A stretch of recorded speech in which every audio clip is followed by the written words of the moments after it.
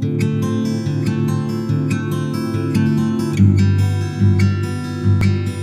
hello friends welcome to my channel step by step gardening friends आज मैं आप लोगों से इस ब्यूटीफुल प्लांट के बारे में बात करने वाली हूँ।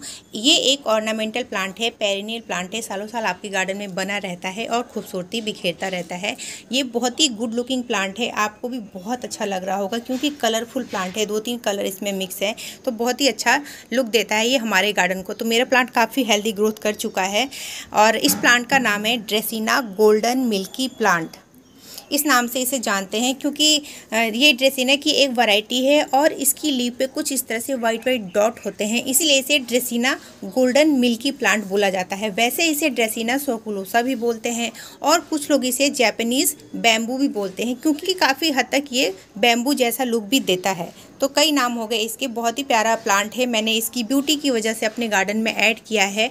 ऑर्नामेंटल प्लांट है और ये प्लांट इंडोर भी चलता है और आउटडोर भी चलता है। दोनों ही कंडीशन में इसकी सनलाइट की नीड को आपको समझना पड़ता है। आगे इस टॉपिक पर बात करूँगी। जो मैं इस प्लांट से रिलेटेड पूरी जानकारी मिलेगी तो वीडियो को एंड तक देखकर पूरी इन्फॉर्मेशन ले। उसके बाद अपने प्लांट की केयर करें। प्लांट देखिए कितना हेल्दी है बिग साइज़ का हो गया है और इसे मैंने ओनली एट इंच के पॉट में लगाया है। तो अच्छी सी ग्रोथ कर रहा है। तो मैं इसकी जो ग्रोथ सीक्रेट है ना हेल्दी ग्रोथ की, वही इस वीडियो में आप लोगों से शेयर करने वाली हूँ कि इसकी हेल्दी ग्रोथ का राज क्या है। मैंने इसे किस तरह से केयर किया, किस तरह से ट्रीट किया कि इतनी अच्छी ग्रोथ कर रहा है।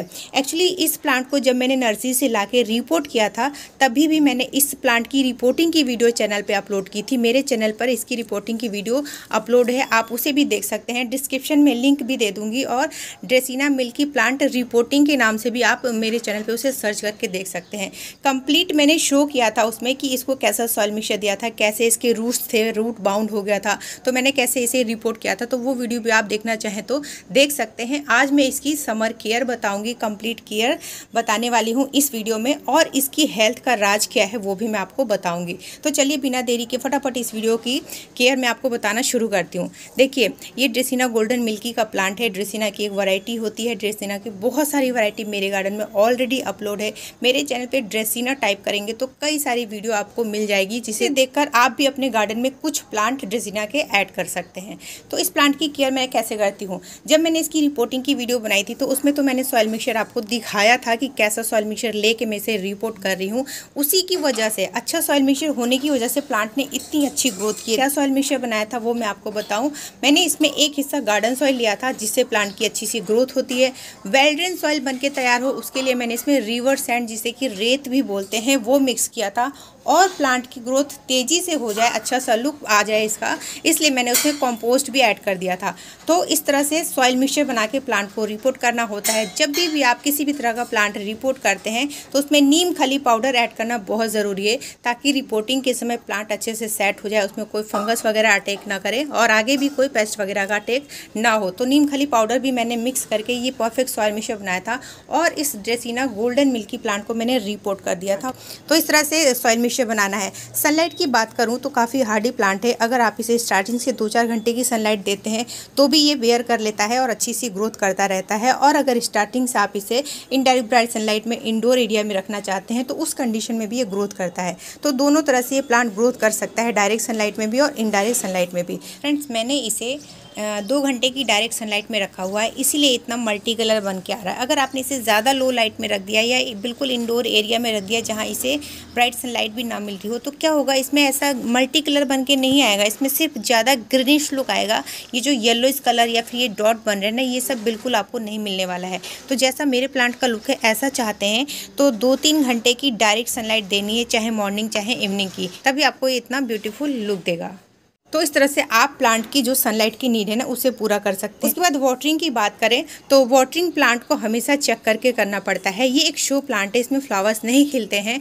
तो आपको क्या करना है प्लांट में वाटरिंग तो करनी है साथ साथ में वीकली इसमें शावर देना है। समर सीज़न में जब बहुत तेज़ धूप होती है तो अगर आपने इसे आउटसाइड डायरेक्ट सनलाइट में रखा है तो हफ़्ते में दो बार शावर दे देंगे तो प्लांट क्लीन भी रहता है और उस पर जो गर्मी की धूप है ना, और जो इतनी स्कॉर्चिंग होती है, उससे भी काफ़ी रिलैक्स मिल जाता है। तो इस तरह से समर सीज़न में आप इसमें शावर दे सकते हैं। विंटर में इसकी नीड नहीं होती है। विंटर और समर में जब ओनली वाटरिंग करते हैं तो वो लिमिटेड करना होता है। हमेशा सॉइल को चेक करके वाटरिंग करनी होती है। सॉइल में इस तरह से नमी है तो वाटर को स्कीप कर दीजिए। अगर सॉइल आपको ड्राई दिख रही है तो आप उसमें वाटरिंग कर दीजिए। अब इसकी जो मेन ग्रोथ का राज है फ्रेंड वो है कंपोस्ट जब मैंने इसी रिपोर्टिंग किया था तो अच्छे से इसमें कंपोस्ट ऐड किया था। जब आपको मैं हर तरफ़ से दिखाऊँ तो बहुत ही अच्छी ग्रोथ करके ये आया है और बहुत प्यारा लुक दे रहा है। इस तरह से जब भी भी सॉइल मिक्सर बनाएँगे, उसमें कॉम्पोस्ट ऐड करना बहुत ज़्यादा ज़रूरी है। आप काउडंग कम्पोस्ट भी ले सकते हैं, वर्मी कम्पोस्ट ले सकते हैं, या फिर पत्तियों की खाद भी आप इसमें ऐड कर सकते हैं। इन तो इस तरह से प्लांट बहुत अच्छे से ग्रोथ करेगा। कंपोस्ट कब कब ऐड करना है मैं वो भी आपको बता दूँ। जब भी ये विंटर की डोमेसी पीरियड के बाद समर सीज़न में आता है तो आप दिसंबर जनवरी में इस प्लांट में कंपोस्ट ऐड कर देंगे, जो कंपोस्ट मैंने बताया, उनमें से कोई सा भी कंपोस्ट ऐड करके सॉइल की गुड़ाई कर देंगे और टाइम टाइम से वाटरिंग करते रहेंगे ना तो प्लांट बहुत अच्छे से ग्रोथ करेगा। देखिए मेरा प्लांट कितना हेल्थी है, इसे फाइव मंथ हो चुके हैं और इतनी अच्छी ग्रोथ किया है कि पूरा जो पॉट है ना, आठ इंच का वो भर चुका है और तेज़ी से ये समर सीज़न में ग्रोथ करता है, क्योंकि समर सीज़न इसका ग्रोइंग सीज़न है। तो इस तरह से आप जो मैंने कंपोस्ट बताया, इस तरीके से आप कंपोस्ट ऐड करेंगे तो प्लांट बहुत अच्छे से ग्रोथ करेगा। उसके बाद मैं आपको बताऊँ इसका प्रोपोगेशन कैसे होता है। मैंने तो ये प्लांट नर्सरी से परचेज़ किया था क्योंकि आसपास में मुझे प्लांट कहीं दिखा ही नहीं था। तो मैंने इसे नर्सरी से परचेज़ किया था। वन थर्टी में मुझे ये सिक्स इंच के पॉट में प्लांट मिल गया था। तो खूबसूरत था तो मैंने इसे परचेज़ कर लिया था। लेकिन इस प्लांट को कटिंग से भी ग्रो किया जा सकता है। देखिए, इस तरह से ब्राउन कलर की स्टेम होती है। तो आप अगर इसकी कटिंग लगाते हैं, पाँच से छः इंच की कटिंग रेनी सीज़न में या फिर जनवरी, फरवरी के महीने में इसकी कटिंग ग्रो करना चाहें तो ईजिली ये ग्रो हो जाएगा। काफ़ी हार्डी प्लांट होता है। जैसे सॉन्ग ऑफ़ इंडिया की कटिंग हम बहुत ईजिली ग्रो कर लेते हैं। इसी तरह से बिल्कुल सॉन्ग ऑफ़ इंडिया जैसा लुक भी देता है और और इसका प्रोपोगेशन भी सॉन्ग ऑफ़ इंडिया की तरह स्टेम से हो जाता है। तो आप इसे स्टेम से बहुत इजीली ग्रो कर सकते हैं। तो जितनी भी कंडीशन मैंने बताई है, उन सभी को फॉलो करेंगे तो प्लांट आपके गार्डन में बहुत हेल्दी ग्रोथ करेगा। देखिए कितना ज़्यादा हेल्दी है, खूबसूरत है गुड लुकिंग है और कलरफुल है। तो इस तरह से जो भी टिप्स मैंने बताए हैं, यही सीक्रेट है इस प्लांट के हेल्दी ग्रोथ का। इस तरह से ये हेल्दी ग्रोथ करके आपके गार्डन की ब्यूटी बढ़ाएगा।